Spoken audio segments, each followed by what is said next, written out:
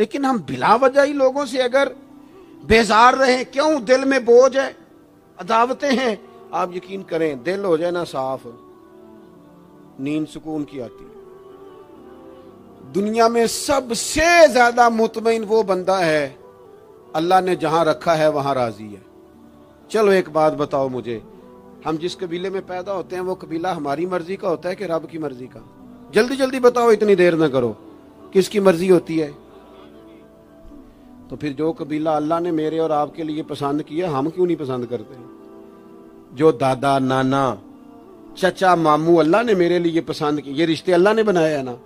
तू उनसे आवाज़ आ रहा है। तू उनसे तंग है, वजह। जो अल्लाह ने तेरे लिए पसंद किया, उसे पसंद कर। हज़रत इब्राहिम इबन अदम रहमत एक दफ़ा मुरीदों के बीच बैठे थे। तो आप फरमाने लगे, दुनिया में जो कुछ हो रहा है, मेरी मर्ज़ी से हो रहा है। बहुत बंदे परेशान भी हो जाते हैं, जल्दी के इतना बड़ा दावा कर दिया है। तो आप हंस पड़े, फरमाने लगे, अगली बात भी सुन लो, फिर कोई तबसरा करना। फरमाने लगे, जो कुछ हो रहा है, मेरी मर्ज़ी से हो रहा है, क्योंकि मेरी वही मर्ज़ी है जो मेरे रब की मर्ज़ी है। मैंने अपनी मर्ज़ी अपने रब की मर्ज़ी में फना कर दी। अब मेरी मर्ज़ी कोई नहीं, सानू कैद सज्जन का गहना है। वो जेंज रखे ऐसा ऊंज रहना है। हमने छोड़ दी अपनी मर्ज़ी। अपना है कुछ नहीं। हमने न कभी कतरे पे गौर किया और न दरिया देखा। बस जहाँ तेरी झलक देखी वहीं डूब गए। छोड़ दो। ये ये इसने ये क्यों कर दिया? वो ख्वाजा निजामुद्दीन साहब महबूब इलाही रहमतुल्लाह लेके एक मुरीद ने एक दफ़ा आके कहा, हुजूर, बड़ी हो गई। दर गुजर फकीरी, दरवेशी, बड़ी हो गई। अब जो मेरे रास्ते में कांटे बिछाएगा, मैं भी उसके रास्ते में बिछाऊँगा। और बड़े गुस्से से बोल रहा था, फकीर फकीर होते हैं। ख्वाजा साहब हंस पड़े। फरमाने लगे, पुत्र, तू तो ज़्यादा ही नाराज़ हो गया है। कहने लगा, नहीं हुजूर हम हमें कुछ करना नहीं आता। हमें भी सारा ही पता है सिट ते पखड़ा कुआर गंदल, असि और भी बूटियाँ जानने आ हमें भी सारा ही पता है, निबट नहीं लेना सवेरे। जो हमारे रास्ते में कांटे बिछाएगा, सवेरे उसकी गली में भी बिछे होंगे। तो हज़रत महबूब इलाई फरमाने लगे, पुत्र, आधे रास्ते में तेरी जिद में वो कांटे बिछा देगा। और आधे में तो उसकी जिद में बिछा देगा तो फिर तो जो आम राहगीर होंगे, उनके भी पैर जख्मी होंगे। तो तुम्हारी लड़ाई में तो मखलूक परेशान हो गई, अर्ज़ की हुजूर, ये तो आपने ठीक कहा है। फरमाने लगे, अगर चाहते हो ना, दुनिया कांटों से न भरे और लोगों को तकलीफ़ ना हो तो एक दूसरे से तकलीफ़ छोड़ दो। ये मत समझना, तेरा एक बंदे से इख्तलाफ है, तेरा एक से इख्तलाफ होता है, उसके असरा दाएँ बाएँ भी जाते। हुजूर फिर क्या करूँ? फरमाया, उसे बिछाने दे। वो बिछाता जाए तो उठाता जा।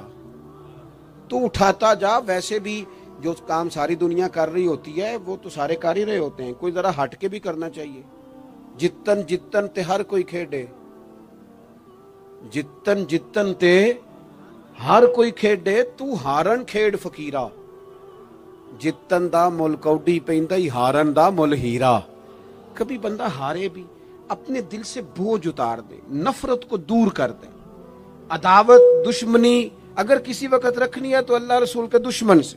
अशिद्दाउल कुफार, अपनों के लिए क्या है? कुछ अकीदा के लिए क्या है? रुहमाउ बैना मेरे अज़ीज़, तिरमिजी में हदीस है, अपनी बात को हवाला दे के मज़बूत कर दूँ। तिरमिजी में हदीस है, नबी पाक सलाम ने हज़रत अंस बिन मालिक से फरमाया था, ए ए मेरे बेटे तुमसे हो सके तो सुबह इस हाल में करना कि तुम्हारे दिल में किसी का बुग्ज ना हो। और अगले लफ्ज हदीस के ये हैं, हुजूर फरमाने लगे, ये मेरी सुन्नत है, ये मेरा तरीका है, अपने दिलों को अदावतों से पाक करें। और पांचवी बात, और बस इसी के आगे पीछे मैंने अपनी बात को समेट देना है, मेरा मजमून मुकम्मल हो गया। हुजूर की एक बहुत बड़ी सुन्नत नबी पाक सलाम की एक बहुत बड़ी अदा। वो पता क्या है? वो है दूसरों का एहसास करना। दूसरों के बारे में सोचना, दूसरों का ख्याल करना। हम ना, मैं अभी आ रहा था तो मेरी गाड़ी के साथ कुछ दोस्तों ने दौड़ना शुरू कर दिया। मैं जो हूँ, मुझे उसका पता है। मैं हमेशा दोस्तों से कहता रहता हूँ, आप बुज़ुर्गों के हाथ चूमे अल्लाह वालों की अच्छी बात है, आपको फ़ायदा होगा। मेरे जैसे गुनागार के हाथ चूम के आपको क्या मिलेगा? कोई नतीजा नहीं निकलेगा हाँ आप कोई मेरी बात मान लें और उस पर अमल शुरू कर दें तो रब करीम की रहमत सुबह कयामत मुमकिन है, ये कह दे, ये तेरी वजह से इसने शुरू किया था, जा तेरे गुनाह भी माफ़ किए। ये जो ये जो जौक है ना, अब एक बंदा गाड़ी के पीछे भाग रहा है तो मुझे इतनी सख्त तकलीफ़ हो रही थी। मैंने कहा, यार, क्या ज़रूरत देखो ना, बेचारा गर्मी का मौसम है, प्यास लगेगी और पसीना आएगा। क्यों भाग रहा है? मेरी मजबूरी भी है, गाड़ी को तो चलना है। जब तक हम एहसास पैदा नहीं ना करते, मेरे किबला आलम फरमाया करते थे कि तेरी गाड़ी के आगे से कोई गलत क्रॉस कर गया और दौड़ के गुजर गया और कोई सख्त जुमला भी कह गया है, उस पर भी तनकीद ना कर। तो अपने दिल में उसका एहसास पैदा कर, सोच के हो सकता है उसे घर में कोई इमरजेंसी हो गई हो। अपनी सोचों को मुस्बत करें। आप दूसरों का एहसास भी अपनी तबीयत में पैदा करें। दूसरों के बारे में भी सोचें। मैं यहाँ माशाल्लाह स्टेज पे बैठा हूँ, बड़ा नरम माहौल है, बड़ा कुछ है, लेकिन जो दोस्त पीछे दीवार के साथ खड़े हैं ना, जिनको जगह बैठने की भी नहीं मिली और खड़े होने की भी सही करके नहीं मिली उनका भी एहसास पूरी तरह, और मेरे ख्याल में सबसे ज़्यादा मेहमान खसूसी भी वही हैं आज की हमारी महफल के, जो ज़्यादा मुश्किल में बैठे। एहसास अपनी तब कहाँ तक एहसास करना है? लो, हदीस पाक सुनो। अल्लाह के महबूब सलाम फरमाते हैं, मैं नमाज़ पढ़ाने खड़ा होता हूँ, नमाज़। करीम फरमाते हैं, मेरा दिल करता है, मैं लंबी नमाज़ पढ़ाऊं। लेकिन फिर पीछे से ना किसी बच्चे के रोने की आवाज़ आती है। दिल था लंबी पढ़ाऊं। बच्चा रो पड़ा। तो मुझे ख्याल आता है इसके रोने से इसकी अम्मा को तकलीफ़ हो रही होगी। मैं नमाज़ छोटी कर देता हूँ। अल्लाह की नमाज़ मुख्तसर कर दी एहसास के तौर पर। हुजूर उस इमाम मस्जिद से सख्त नाराज़ हो गए थे। सही हदीस में मौजूद है, जिसके मुख्तदियों ने आके शिकायत की थी कि यारसुल्ला बहुत लंबी नमाज़ पढ़ाता है। यहाँ तो लोग एहसास ही नहीं करते मेरे भाई। यहाँ तो एहसास ही नहीं करते। यहाँ तो मैं आया हूँ ना रात के एक बजे महफिल में।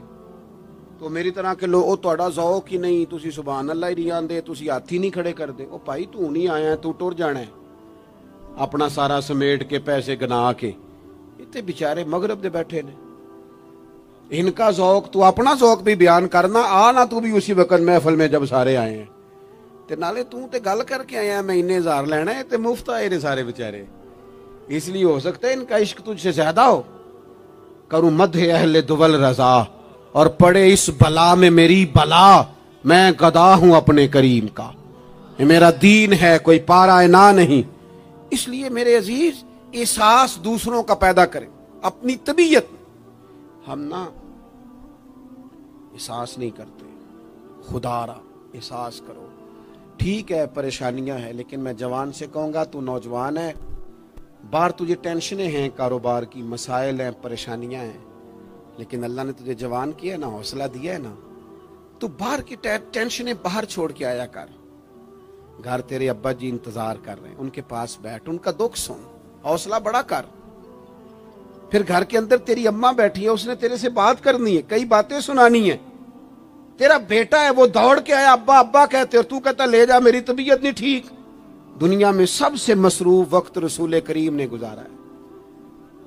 लेकिन हजूर तो गुलामों की बात भी सुनते हुजूर तो घर वालों को वक्त भी देते। सैयद आयशा सिद्दीका फरमाती हैं, जब तक घर में रहते, घर का कोई काम ही करते रहते। और हुजूर तो नवासों को टाइम देते, नमाज़ के वक्त भी साथ ले जाते। क्यों?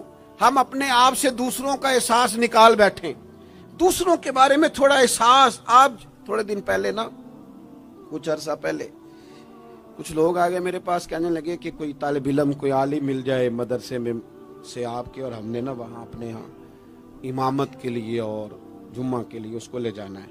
मैंने किसी तालब इलम से कहा, चले जाओ। वो कहने लगे, तनख्वाह कितनी देनी है? मैंने कहा, कोई ज़्यादा नहीं, जितना आपके घर का खर्चा है, उतना उसको भी दे दें।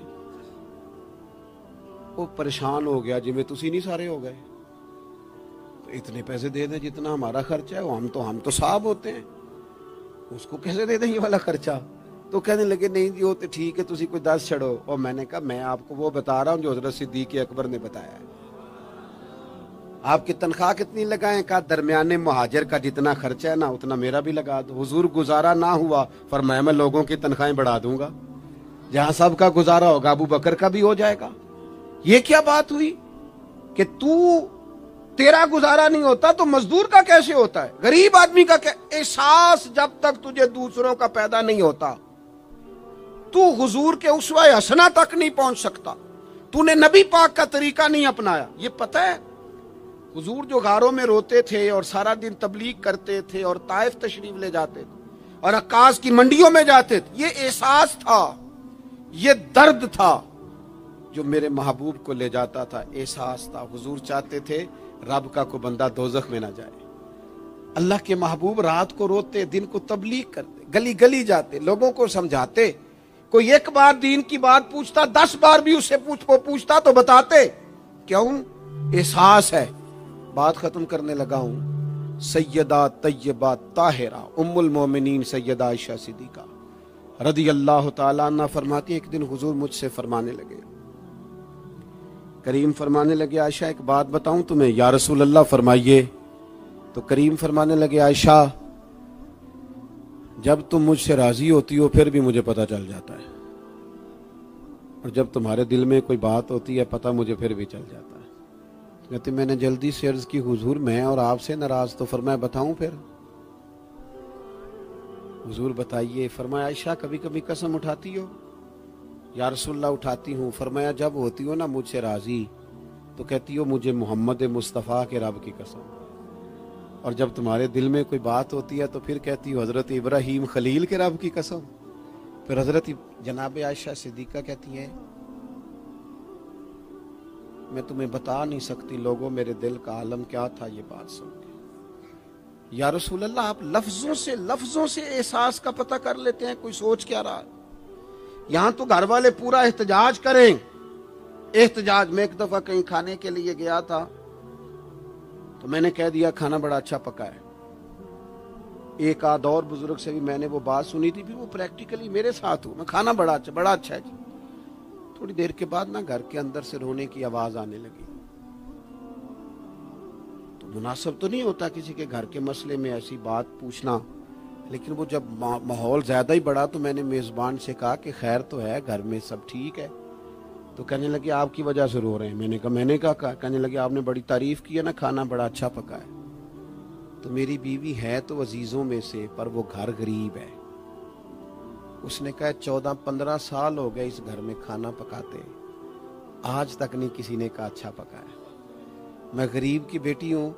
आज वो तारीफ़ सुनी है तो दिल किसी और तरफ़ ही चला गया है। इतना भी एहसास नहीं जो सुबह से गर्मी में खड़े आपको पता है नबी पाक ने कभी खाने में नुक्स नहीं निकाला था। सैयद आयशा कहती हैं, पसंद होता तो खा लेते, वरना छोड़ देते, कभी ऐब, तू तो हंडिया फेंक देता। आ ना गर्मी में, तू भी खड़ा होना जहाँ अम्मा खड़ी है, बीवी खड़ी है, बहनें खड़ी है, खड़ा होना दस मिनट तू एहसास ही नहीं, सिर्फ़ अपना ही पता है। सैयद आयशा सिद्दीक, ये हजूर का उसवा हसना है। ये तरीके अपनाओ ज़िंदगी में, चार, पाँच, आठ चीज़ों को फकत सुन्नत ना समझो। ये वसत है हुजूर के उसवा नूर में। सैयद आयशा कहने लगी, करीम फरमाने लगे, तुम कसम उठाते हज़रत इब्राहिम का नाम लेती हो तो मैं समझ जाता हूँ। जनाब आयशा कहती हैं, बस दिल मचल गया, कैफियत और की और हो गई। मैंने कहा, हुजूर, फिर मुझे कसम हो, मोहम्मद अरबी के रब की, मेरे लबों से आपका नाम ही जाता है, मेरे दिल में आप हर वक्त मौजूद रहते हैं। मेरे अज़ीज़, कुछ बातें आपसे मैंने अर्ज़ की, मैं अपनी गुफ्तु को भी देखता है, जो बड़े मालदार होते हैं। और ऐसे लोगों को भी देखता है जो बेचारे एक वक्त खाते हैं और दूसरे वक्त के लिए परेशान रहते हैं। अपनी ज़िंदगी में वो सेहतमंद, तवाना, खूबरू लोगों को भी देखता है और बीमार और कमज़ोर, ज़यीफ़ और नातवान लोगों को भी देखता है। उसके इर्द गिर्द ऐसे लोग भी होते हैं जो बड़ी खुश व खुर्रम ज़िंदगी गुजार रहे होते हैं और ऐसे लोग भी होते हैं जो किसी वजह से परेशान, तकलीफ़ में घुटे घुटे से होते हैं। इंसान अपने माहौल से भी सीखता है, मुआशरे से भी सीखता है और फिर जब वो लोगों के करीब जाता है और अपने घर से उठकर वो लोगों से मुलाकात करता है तो मुख्तलिफ़ किस्म के मशवरे, मुख्तलिफ़ किस्म की आरा और मुख्तलिफ़ किस्म के मुशीर उसे मिलना शुरू हो जाते हैं। इन सारी चीज़ों के माहौल में इंसान की सोचें पनपती हैं और उसे बालीदगी का मौका मिलता है, वो बाशूर होने लगता है। फिर वो किसी एक जगह ठहर जाता है। बाज़ात किसी मालदार की तरफ़ देखकर पूरी तरह रुक जाता है और सोचता है कि नहीं, मैं पैसा ही कमाऊँगा तो फिर ठीक है। बाज़ात किसी मशहूर आदमी को खुशकस्मत समझ लेता है और फिर वो कोशिश करता है कि जितने भी जतन किए जाएँ, किसी भी तरीके से शोहरत हासिल की जाए। वो इस तरह करके हमारी मिल्लत के जवान भी, हमारे लोग भी, फिर मैंने ऐसे लोगों को भी देखा है, जो अगरचे बहुत बड़े किसी इदारे से पड़े हुए थे और मालदार थे और वज़ादार थे। और उन्होंने ये देखा कि पाकिस्तान में आकर यहाँ पहुँच कर मुझे खिदमत का काम करना चाहिए। आए। अच्छी नीयतों के साथ आए होंगे, कोई उनके पीछे नेक मकासद ही होंगे, लेकिन जब उन्होंने पाकिस्तानी सियासत का माहौल देखा ना तो फिर ना डिग्रियाँ, ना तालीम, कुछ भी नहीं, वो जिस तरह का माहौल था उसी तरह के बन गए। रवायती हो गए। किसी न किसी के पीछे यूँ ही लोग लग जाते। और तर्ज ज़िंदगी इख्तियार करते हैं, हमें लगना होता है किसी ना किसी के पीछे। हम पैरवी करते हैं लोगों की, लोगों को देखते हैं, उस हिसाब से हम अपने आप को मुरतब करते हैं। फिर मेरे भाइयों, एक मसला और भी होता है, इंसानों में सिर्फ़ खूबियाँ नहीं होती, आम इंसानों में बशरी कमजोरियाँ भी होती हैं। हम बाज़ात किसी के पीछे चलते हैं तो खो तारीफों के पुल बांधते हैं, मोहब्बतों और अकीदतों का लंबा चौड़ा इजहार करते हैं, फिर थोड़ा सा टाइम गुजरता है और थोड़ा सा कुर्ब मिलता है तो फिर हमें उस बंदे में खामियाँ नज़र आनी शुरू हो जाती कोरे वर्क किताब नहीं होंगे। पत्थर दिल गुलाब नहीं होंगे। सजना पहलों ही सोच के लाई, फिर यारा नाल हिसाब नहीं होंगे। सोचते नहीं, समझते नहीं, गौर नहीं करते, जज्बाती फैसले करते हैं, माहौल जज्बाती है। या आप देखें ना, मैं किसी जगह पे पहुँचता हूँ तो रुकना, बैठना, चलना, फिरना दोस्त मुश्किल कर देते हैं। एक मिनट के लिए कहीं कैमरा बंद नहीं होता। आप बड़े थके थके हुए भी हों तो आप सही करके कहीं बैठ नहीं सकते क्योंकि आपके चारों जाने तो कैमरा चल रहा है। कैसे बैठे? नबी की ज़िंदगी बेहतरीन नमू है। एक कामिल उसवा हसना तुम्हें देते हैं, कामिल, मुकम्मल।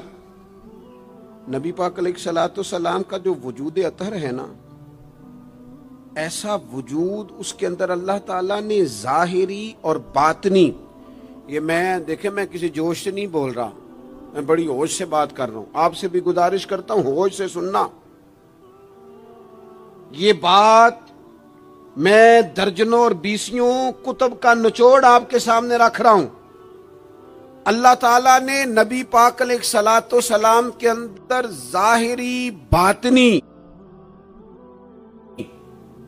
सारी खूबियाँ भर के अपने महबूब को दुनिया में मबूस फरमाया नहीं खिला दिए।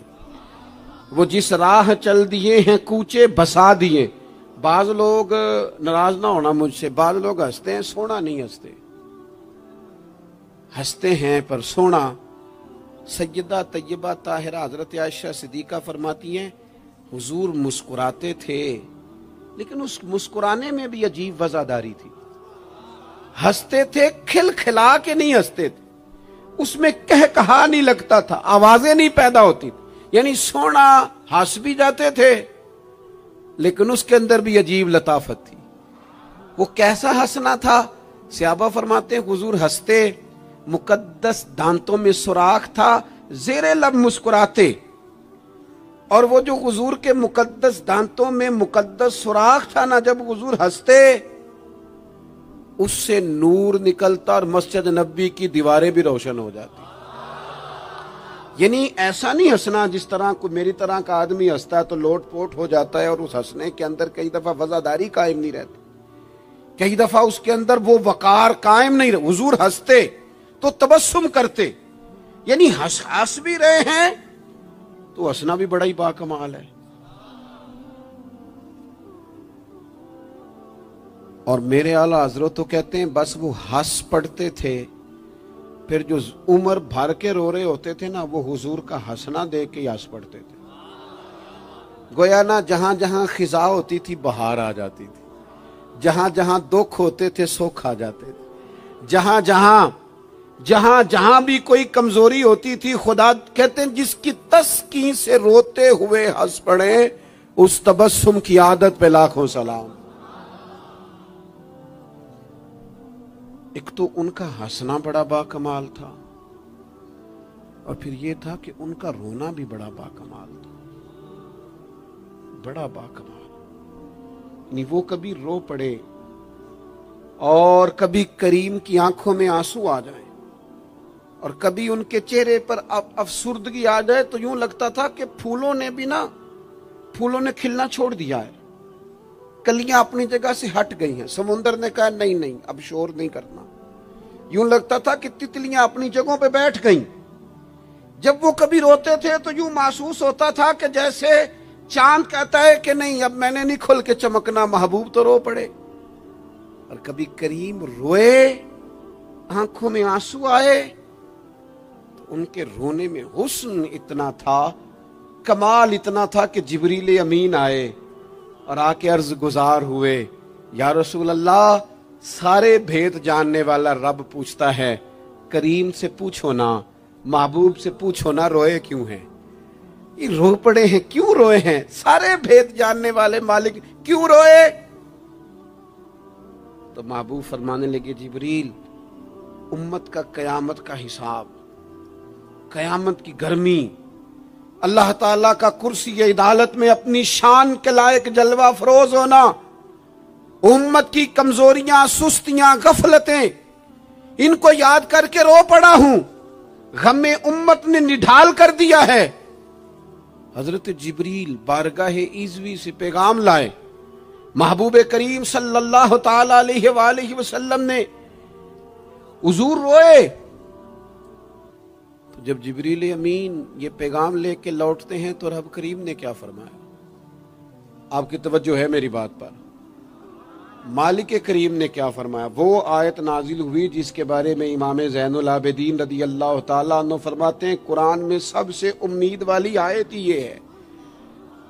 रोए हुजूर और जनाब जबरील पूछ कर वापिस गए तो रब करीम ने फरमाया, जाके मेरे महबूब से फरमा दें, वाला सऊफ योती का रब्बू का फतरदा। महबूब, रब आपको इतना देगा कि आप अपने रब से राज़ी हो जाएँगे। महबूब आपको राज़ी करेंगे, ना रोए, आपको राज़ी करेंगे। आप, और हजूर क्या फरमाते हैं? फरमाया, जब तक मेरा एक उम्मती भी दोजख में मैं कोई नहीं राज़ी होता। अल्लाह क्या जहन्नुम अब भी ना सर्द होगा? रो रो के मुस्तफ़ा ने दरिया बहा दिए। हुजूर का हंसना भी बाकमाल, रो देना भी बाकमाल। उनका किसी बंदे से मोहब्बत से उठ के गले लगाना भी बाकमाल। और कभी हुजूर जलाल करें तो हुजूर जलाल करें तो महबूब फरमाने लगे, मैंने दुआ मांगी है। ए अल्लाह, अगर मैं किसी को झिड़क दूँ तो उतना सवाब देना, जितना तू फर्द नमाज़ का सवाब देता है। यहाँ ये भी हर हर जाविये से, हर निगाह से मैं क्या आपको अर्ज़ करूँ? हमने न कभी सीरत बयान की मेरी तरह के लोगों ने, ना कौम उस तरह से सीरत को पढ़ती है। सीरत नबवी का एक एक पहलू कभी खोला जाए, ये जो जमाने में बेचैनी पाई जाती है ना, बेकरारी पाई जाती है और जहनी इंतशार है और फिक्री उलझाव है और टूटती बिखरती सोचें, ये सारी खत्म हो जाए। ऐसा ठहराव नसीब हो, जीने का भी मज़ा आए और मरने का भी मज़ा आए। अगर हुजूर की सीरत मुकदसा को समझा जाए तो महबूब की ज़िंदगी हर तरह से कामिल है, मुकम्मल है, अकमल है। आप कहीं भी और जाएँगे, ये आजकल मोटिवेशनल स्पीकर्स का दौर है, हमारे बच्चे जदीद पढ़े लिखे, वो कहते हैं, मैं फलाम मोटिवेशनल स्पीकर के पास जाता हूँ। जाएँ आप। बहुत सारे लोग ऐसे उन्हें कहें तो वो बाज नहीं आते, वो तजर्बा करके बाज आते हैं। और बिलखसूस नई नस्ल जो होती है, वो बुज़ुर्गों के तजर्बों से फ़ायदा नहीं उठाती। वो अपने अलग से तजर्बे करना चाहती। उसका भी बड़ा खतरनाक नतीजा बरामद होता है। तो कोई बंदा भी जो आपको मोटिवेट करता है ना किताब सुन्नत के बगैर, कोई भी आपको मोटिवेट कर रहा है, वो क्या कुछ कह रहा है, क्या कर रहा है, वो कभी भी आपको तालीम सही नहीं दे सकता। क्यों? इसलिए कि जो तालीम वही इलाही के बगैर होती है, वो नाकस होती है। अंबिया की तालीम वही इलाही के साथ। लिहाजा अगर कोई आदमी आपको मोटिवेट करता है किताबों सुन्नत के साथ, वो आपको दुरुस्त सिमत लेके जाएगा, वरना तो हर आदमी आपको उलझा देगा। मेरे भाई नबी पाक का उसवा हसाना, हमारे यहाँ लोगों ने सुन्नत शरीयत समझ किसको लिया है? हमारे यहाँ लोगों ने सुन्नत शरीयत समझा है, सिर्फ़ पगड़ी बाँध ली। बहुत अजीम सुन्नत है इमामा बांधना। बाज लोगों का ख्याल है सिर्फ़ दाढ़ी रखना दाढ़ी, बहुत अजीम सुन्नत, बहुत अजीम सुन्नत। अंबिया किराम की पसंद है। और आपको पता है, अल्लाह ताला ने औरतों को दाढ़ी दी ही नहीं। ये मर्द का जेवर है। हाँ हाँ ये मर्दाना काम है। दाढ़ी मर्द का जेवर और फिर ये आपके जिस्म का हिस्सा है। दाढ़ी का वज़न कोई नहीं होता। पूछ लें जिन्होंने बड़ी रखी है, बेशक उनसे भी पूछ लें। ये वजूद का हिस्सा है। इसका कोई वज़न, कोई परेशानी। और एक और बात, नौजवानों, आपसे कह दूँ चलते चलते बगैर दाढ़ी के आप सोने लग रहे हो तो लोग कहेंगे लोग कहेंगे, प्यारे लग रहे हो, अच्छे लग रहे हो, खूबसूरत लग रहे हो। और दाढ़ी के साथ अगर किसी को प्यारे लगो ना तो जो तारीफ़ करेगा, वो तो तारीफ़ ही बड़ी रूहानी किस्म की है। वजदानी। यानी आप दाढ़ी के साथ अच्छे लगे तो लोग कहते हैं, कितना नौरानी चेहरा है। अब देखो, इस तारीफ़ के पीछे जो जुमलों की तरतीब है, उसमें हुसन कितना। दाढ़ी, इमामा सफ़ेद लिबास, और फिर ये कि मिसवाक करना बड़ी आला सुन्नत है, मीठा खाना बड़ी आला सुन्नत। लेकिन यही चार पाँच सुन्नतें नहीं मेरे भाई हजूर की। ये बहुत बड़ा मसला है। बाज लोग समझ फलां जी सुन्नत शरीयत पे अमल करता है, क्या करता है? दाढ़ी पगड़ी वाला है। वो खुदा के बंदे, ये अजीम सुन्नत है। कौन इसका इनकार कर रहा है? लेकिन नबी पाक का तो उस हसना है, उसके पीछे तो पूरी ज़िंदगी है। इधर देखो मेरी अच्छा फिर एक और बात। बाज लोग समझते हैं मीठा बोलना सिर्फ़ सुन्नत है और इखलाक की अलामत है, सिर्फ़ मीठा बोलना। आपने नाराज़ नहीं होना, मीठा तो बाज बंदे अपने मतलब के लिए भी बोलते हैं। वो काम निकलवाने के लिए बड़ा मीठा मीठा बोल रहे होते हैं।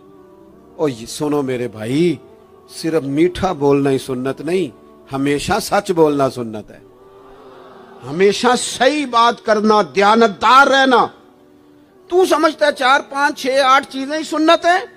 ओ खुदा के बंदे, नबी पाक की जो अदा सबसे पहले दुनिया के सामने आई और हुजूर की जिस अदा से, सुन्नत से लोगों को सबसे पहले वाकफियत हुई, शोर नहीं पड़ जाता किसी चीज़ का दुनिया में, मुआशरे में, फुला बंदा ये करता है, फुला, एक एक बंदे का एक चीज़ तारुफ बन जाती है, तारुफ। कोई चीज़ लोगों के वजूद के साथ, नाम के साथ सबका लाहका बन जाती है। जो चीज़ सबसे पहले जिससे लोगों ने मेरे नबी पाक का तारुफ किया और लिया, इधर देखो नौजवानों मेरी तरफ़, जिस चीज़ से सबसे पहले हुजूर की जिस अदा से लोग वाकिफ हुए थे, वो तो सादक और अमीन होना है। सबसे पहले लोग वाकिफ हुए थे कि हमेशा सच बोलते हैं। हमेशा सच मिल्लत का जवान तो लोगों को हंसाने के लिए झूठ बोलता है। कोई फ़ायदा नहीं। कोई फ़ायदा नहीं। झूठ बोलने के लिए डिंगे मारते हैं, बड़के मारते हैं, मैं ये होता हूँ, मैं वो होता हूँ। झूठ बोलते हो। क्यों ज्यादतियाँ करते हो अपने साथ? नबी पाक सलाम की तो पहली अदा, पहली सुन्नत जिससे लोग वाकिफ हुए, वो सादक और अमीन होना है। और लोग कमज़ोरी दिखाते हैं। मैं आपसे अर्ज़ करूँ, आज पता है मेरे मुल्क का हाल क्या है? आज इतने दर्द में हैं लोग, इतनी तकलीफ़ में हैं।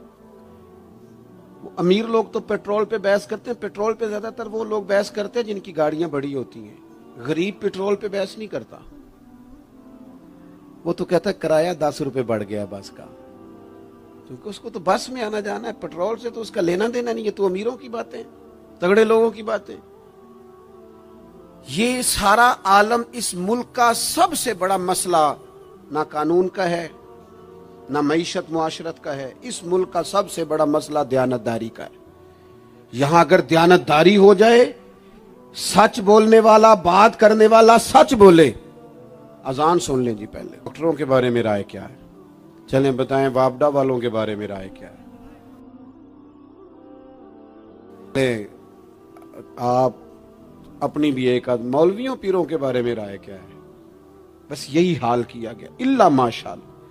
बदएतमाद कर दिया गया। ऐसा नहीं है कि सिर्फ़ किसी एक गिरोह, एक तबके के बारे में बदयांती को फरोग दिया गया, झूठ को। आज भी किसी भी शख्स को आप ले लें, उसके बारे में सच्चाई से ज़्यादा, झूठी खबरें ज़्यादा फैलाई जाती हैं। अफवाहों का दौर दौर अपनी ज़िंदगी में जवानों, सच बोलो। दयानतदारी का मुजाहरा करो। उस मिल्लत का जवान कैसे तरक्की करेगा जिसकी माँ कहती है कि पुत्र, तू साची नहीं बोलता। तू जाता कहीं है, बताता कहीं है। तू बात ही ठीक नहीं करता, कैसे बात सुनो? नबी पाक सल्लल्लाहु अलैहि वसल्लम ने जब मुख्तलिफ़ जगहों पे तबलीग दीन के पैगाम भेजे तो हिरकल बादशाह को भी हुजूर ने पैगाम दिया। बड़ा सियाना आदमी था। समझदार था, मामला फहम था। उसने कहा, मैं कोई जज्बाती फैसला नहीं करता। कुछ चीज़ों के ना हजूर के बारे में, कुछ चीज़ों के सवालात मेरे जहन में हैं। उसने कहा, यार, यहाँ कोई आया हुआ हो ना, मक्के का सरदार, लोग तजारत के लिए आते हैं, कोई समझदार, सियाना, सरदार, वजादार आदमी तो लेके आओ। अबू सुफियान अभी मुसलमान नहीं हुए थे, वहाँ गए हुए थे, और आपको पता है कि वो हर जंग में आगे आगे थे, कलमा पढ़ने से पहले। उनको बुला के ना लोगों को पता चला, ये आए हुए हैं तो ले जाके बादशाह के सामने खड़ा कर दिया। अबू सुफियान कहते हैं जब उसने सवाल जवाब शुरू किए ना तो ज़ाहिर है मैं मुखालिफ गिरोह में था। जब कोई मुखालिफ गिरोह में होता है, उसने तारीफ़ तो नहीं ना करनी होती। वो सिर्फ़ हमारे मुल्क में रिवाज है कि लोग जो पार्टी छोड़ के आ रहे होते हैं, उसकी भी तारीफें कर रहे होते हैं। और जिधर जा रहे होते हैं, फिर उसकी भी। अल्लाह जाने कैसे अपने दिल को समझाते हैं, जमीर को मुतमिन करते हैं अल्लाह माशा अबू सुफियान कहते, मैं चूँकि दूसरे गिरोह में था तो बादशाह ने जो बात भी पूछी ना, मैंने राय मुखालिफ दी। जो भी पूछा कि वो महबूब सलाम जो दावा नबुवत करते हैं, उनका कलमा पढ़ने वाले अमीर हैं, गरीब हैं, बात क्या है, जंगे हुई हैं तो नतीजे एक तवील गुफ्तगु है।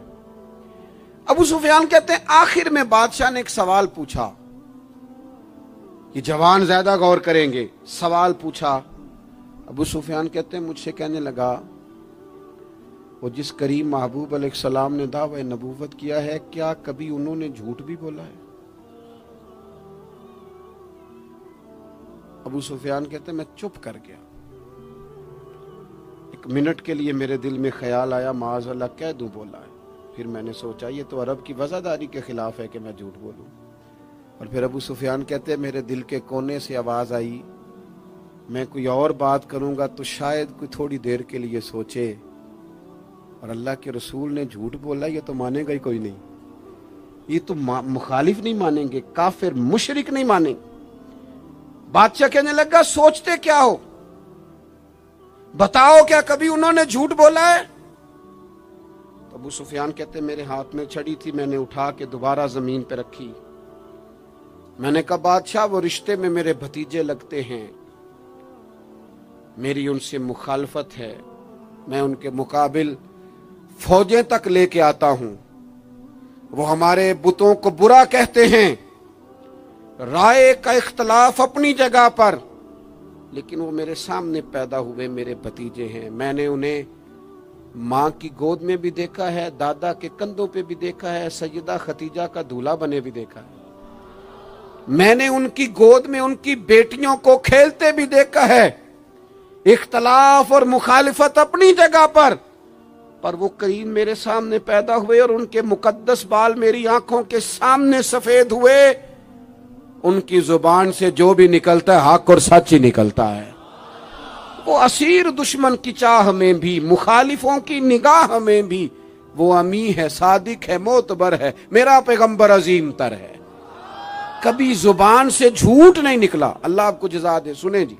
कुछ खतीब बगैर नारों के भी तकरीर कर लेते हैं यार। ऊँची सुबह अल्लाह के बगैर भी काम चल जाएगा इनशाला आप खाली सुनते जाए, ना भी सुबह अल्लाह कहें, फिर भी गुजारा। असर करे न करे, सुन तो ले मेरी फरियाद। और नहीं है दाद का तालिब, ये बंदा आज़ाद। मेरे अज़ीज़, नबी पाक सलात सलाम ने सच बोला। अबू सुफियान कहते हैं, उनकी ज़ुबान से सिवाय हक, सच के कभी कुछ निकला। करें ना थोड़ी पाबंदी, हम भी सच की। करें ना। अच्छा हम बोलते हैं सच। बहुत सारे लोग सच बोलते हैं।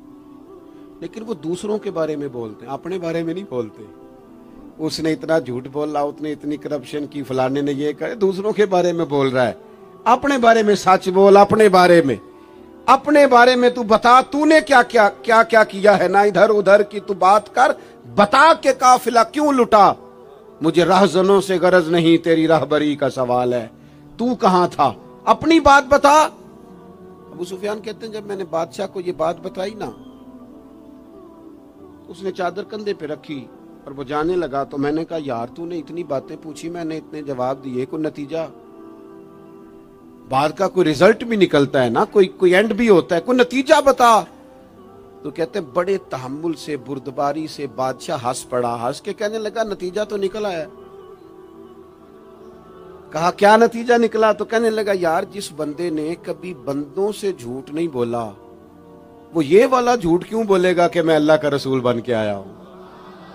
जो बोलते ही सच हैं तो फिर गोया वो कह रहा था, मान लो कि ये भी वो सच ही बोलते हैं कि मैं अल्लाह का रसूल बन के आया एक तो हजूर की इस अहम अदा को अपनाओ। आपको पता है किसी बाप ने किसी मजबूरी से कभी कहा होगा अपने बेटे को चले दो मिनट के लिए मान लेते हैं, कोई मजबूरी होगी? उसने, चले फ़र्ज़ किया, किसी मजबूरी के तहत उसने कहा था अपने बेटे को कि बाहर जो बंदा आया उसे कह दो कि मैं घर में नहीं। चले मान लिया, दो मिनट के लिए तेरी मजबूरी थी। लेकिन मैं ज़िम्मेदारी से कहता हूँ, तूने एक दफ़ा अपने पुत्र से कहा था, ना, झूठ बोल दे, मैं घर नहीं। फिर तू सारी ज़िंदगी मिन्नत करेगा, वो तेरे साथ भी सच नहीं बोले। इतनी बड़ी बीमारी है, ये घर तोड़ती है, घर। ये कबीले तोड़ती है। रिश्तों को कमज़ोर क्यों झूठ बोलते हो रिश्ता करते वक्त? कि बच्चा ये कमाता है, ये कमाता है, क्यों झूठ बोलते हो? साफ़ सुथरी दो टोक बात करो। इतना बड़ा रिश्ता मियाँ बीवी का, जो अल्लाह की निशानियों में से निशानियाँ झूठ पर कायम करते हो। बेटी के वालदेन भी अल्लाह माशाल्लाह झूठ बोलते हैं, ये दे देंगे, ये दे देंगे। बाद में कहते हैं, लड़के वाले लालच करते हैं, आपने पहले लालच खुद पैदा किया। क्यों कहानियाँ सुनाई? इतना अहम रिश्ता जिसकी बुनियाद पर सारा घर चलना था, वो रिश्ता ही बद एतमादी पर कायम है। जब एक दूसरे पर एतमाद ही नहीं है तो सुकून कैसे आएगा? अपनी ज़िंदगी में सच लाओ दौलत लाने से ज़्यादा ज़रूरी सच लाना है। घर में महँगी चीज़ें लाने से बेहतर है, अपने घर में सच ले आओ, दयानतदारी ले आओ। घर भी बच जाएगा, कबीला भी बच जाएगा, ज़िम्मेदारी से कहता हूँ, सच बोलो, दयानतदार हो जाओ, मुल्क भी बच जाएगा। इस उम्मत का भलाई इस काम में है, ये हुजूर का उसवा हसना है। और तीसरी बात, नबी पाक की सुन्नत सिर्फ़ मिसवाक लेके दान साफ़ करना ही नहीं दिल साफ़ रखना भी मेरे नबी की सुन्नत है। दिल साफ़ रखना भी हुजूर का तरीका दिल। बड़े बोझ होते हैं हमारे दिलों पर। मुफ़्त की नाराज़गी, कोई लेना देना नहीं। वो जी फलाने बंदे ने ना जी, अपनी बच्ची की शादी की या बच्चे की शादी की रिश्तेदार ने मुझे पूछा नहीं, भाई आपको क्यों पूछते? आप क्या हैं? उनका घर था। आपको आप बिला वजह आप नाराज़ हो के अपने घर में क्यों पूछते आपको? किस किताब में लिखा है, किस शरीयत में लिखा है, कहाँ कानून है, आपसे पूछा जाए। वो फलाने बंदे ने मेरे बारे में बात की होगी। और यार तो इतना अहम नहीं है, सारी दुनिया तेरे खिलाफ बातें करे। तो मुफ़्त में टेंशन ले गया वो जो दो बंदे दूर खड़े हैं, वो कोई और बात कर रहे हैं, तेरी नहीं कर रहे। मुफ़्त में अपने दिलों में बोझ, मुफ़्त में बदगुमानियाँ। और जी, फलाना बंदा अमीर हो गया, कैसे हो गया? ये तेरी ड्यूटी है। तेरी ज़िम्मेदारी है। मेरे आला हज़रत फाजल बरेलवी रहमतुल्लाह लिखा है हसद करने वाला बंदे पर एतराज़ नहीं करता। हसद करने वाला अल्लाह ताला की तकसीम पर एतराज़ करता है। माज अल्लाह सुम्मा माज अल्लाह वो तो अल्लाह वो तो कह रहा है, उसे नहीं मिलना चाहिए था, मुझे मिलना चाहिए था। आप जब इतनी ज़्यादा अदावतें पैदा कर लेते हैं, आप क्यों नहीं उस चीज़ से खुश होते जो निज़ाम मेरे रब ने बना दिया है? इतनी बड़ी अल्लाह की मखलूक है, लेकिन हमें लोग अच्छे ही नहीं लगते। जिससे पूछ लो वो नाराज़ ही है। हर बंदा किसी न किसी से नाराज़ है। शिकवे कर रहा है। वो छोड़ दे यार। मैं किसी शख्स से बेजार नहीं हो सकता। एक जर्रा भी तो बेकार नहीं हो सकता। जिसे अल्लाह ने बनाया है वो बेकार। मैं बदअकीदा बद मज़हब की बात नहीं कर रहा। वो फिर दोहराता हूँ। एक तो हुजूर की ज़िंदगी कामिल है, मुकम्मल है, उसे पढ़ो। जिस जाविये हंसना भी बाकमाल है, रोना भी बड़ा कीमती है। जिस जाविये से पढ़ोगे, कमाल ही कमाल। और फिर, हुजूर का उस हसना पूरी ज़िंदगी पे लागू करो। एक तो सच बोले बद्यांती कभी ना करें, झूठ कभी ना बोले, और अपने दिलों से सारे असद, बुगज, अदावतें, दिल, दरिया, समुद्रों डूँगे। कौन